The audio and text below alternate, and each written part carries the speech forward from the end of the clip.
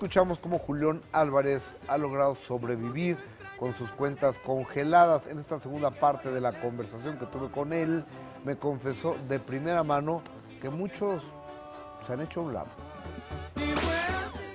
Dicen que en la cárcel y en la enfermedad se conoce quiénes son los verdaderos amigos. ¿Cómo se ha portado el medio contigo? Yo mismo les pedía a todas así. No hubo uno que no de otro parejito, oigan.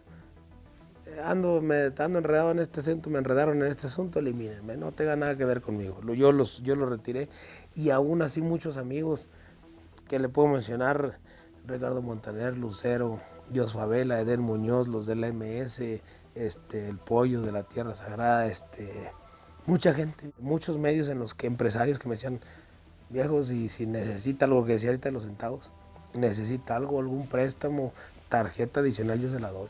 Oye, Julián, ¿qué pasa con la disquera?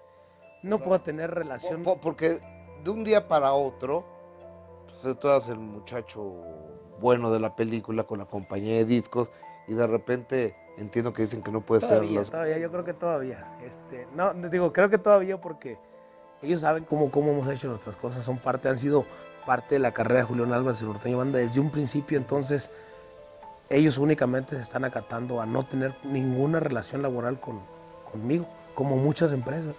Este, cualquier empresa que se tenga que ver con Estados Unidos y, y con un servidor no se puede.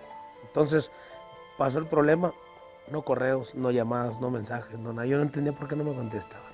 Ya que me dijeron, les es que no pueden tener relación, ah, le dije, con razón no me contestaron estos hombres. Yo tengo un compromiso todavía con ellos, me queda una producción.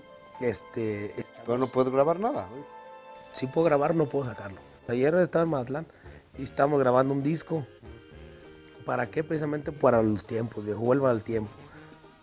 Dice Julio, listo, o hay un acuerdo con la compañía, o hay algo por medio del licenciado, que si logra una licencia o algo de poder sacar el disco, nosotros ya, ahí está el disco, ahí está la portada, ahí está todo listo para que lo saquen.